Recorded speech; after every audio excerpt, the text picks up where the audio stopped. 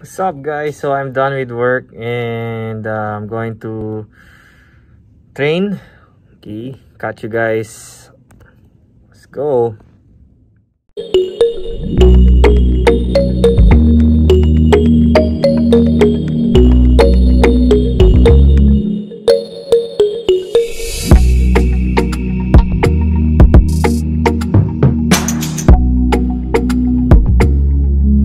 Few moments later. Hey guys, I just arrived here at uh, local active and I'm gonna work out. This is my first. This is gonna be my first episode for my my own channel. Um, and I made this because I actually got injured last year with my shoulder. Um, shout out to uh, Raymond and Paul. Okay, you guys are the best. So my shoulders and my knees. I think my quads are too tight. I feel something in my shoulder, so right now I cannot do CrossFit a lot, a lot of CrossFit because it's my shoulder. But I can still do CrossFit. I'm not sure if I'm going to be do competitive CrossFit here in the Philippines. Um, I kind of feel sad, uh, feeling sad because I can't do right now. I can't snatch, and there are some movements that I cannot perform. Um, yeah, especially the snatch. But I can still do some gymnastics. I did some ring muscle ups. I can still do bodybuilding and a lot of stuff. I think some yeah, I can do most bodybuilding workouts and and for my knees I can't squat heavy. I can't squat. For today, I'm just going to do my posterior chain.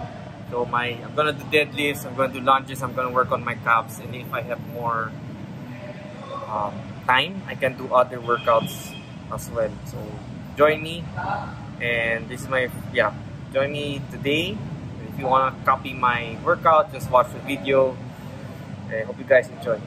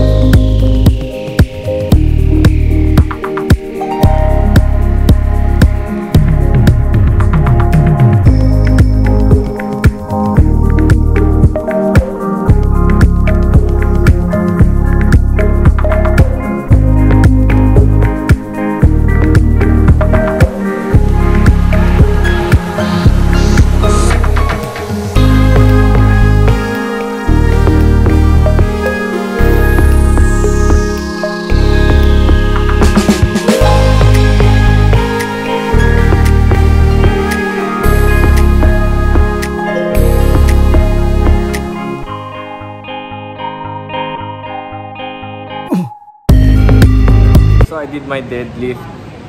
Uh, I reached 345, 355. Then I did reverse lunges. Reverse lunges, you just have to use your, you have to squeeze your glutes.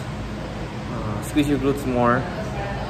And then you shouldn't feel the quads that much if you're focusing on the quads, uh, you're focus on the glutes. So squeeze your glutes once you stand up, okay? And then don't really have to bring your knees all the way down. If you have knee problems, then don't go full rep. But um, so I want this as a posterior chain workout. So more on the posterior chain. So more on the um, squeezing of the glutes is important here.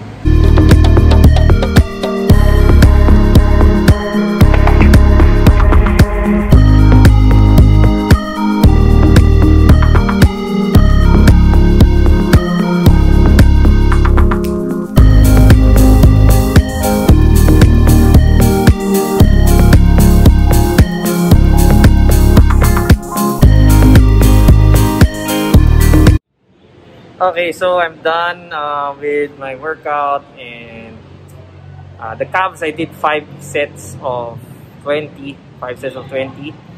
Um, it really hurts. Okay, I usually do body weight for my calves. Then I do an extra standing calf, uh, do an extra calf raise after. Um, Good. Uh, I hope you guys like my video. Okay, see you guys soon on my next video.